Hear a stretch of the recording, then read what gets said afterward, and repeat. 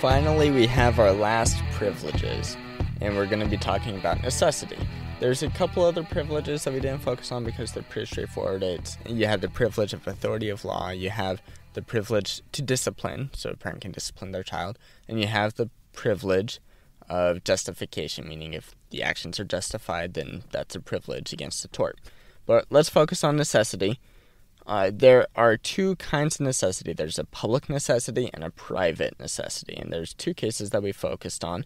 The first is Surocco v. Geary, and the big takeaway from this is that if there's a situation necessary to protect the public good, you can uh, take an action that's going to uh, protect the public good, and you're not liable as a tort, and you're not liable to the defendant uh, to compensate.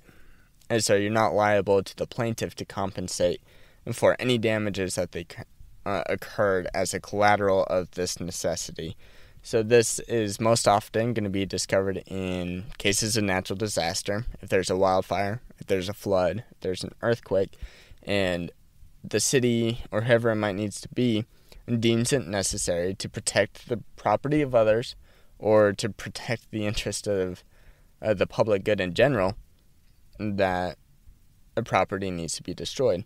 In this case, what happened is that there was a wildfire and it was consuming one house. The house that was being consumed, uh, the person approached it and blasted it, destroyed it, uh, as the plaintiffs in this situation were trying to recover uh, items, and had it not been blasted, they would have been able to recover all their items. So they were suing for damages for the lost possessions.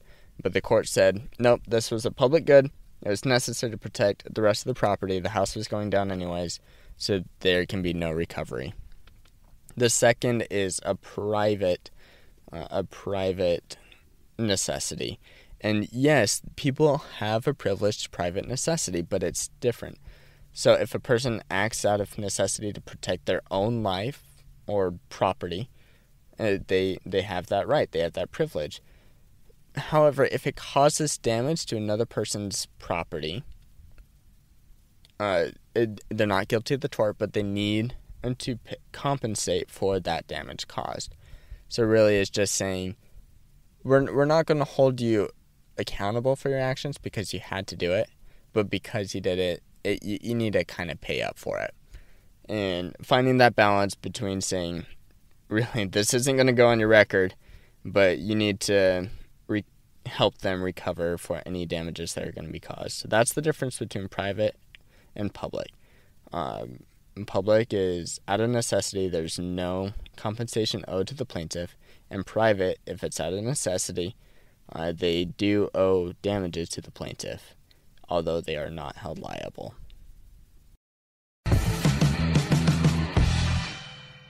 Thank you for listening to this episode of The Law Schoolers. Before I let you go, there are four things I want to say. The first thing is if you enjoyed these episodes and if you enjoyed the website, I would invite you to go and join Law Schoolers Pro, and you can do that by going to lawschoolers.com/join. It's a way for you to support us, but there's also a lot of features there that I think you will enjoy.